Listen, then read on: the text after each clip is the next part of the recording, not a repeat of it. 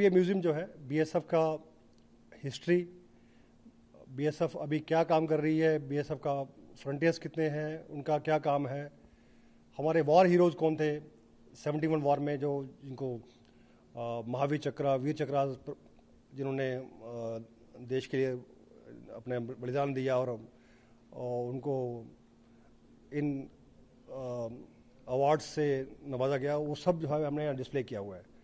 तो जो भी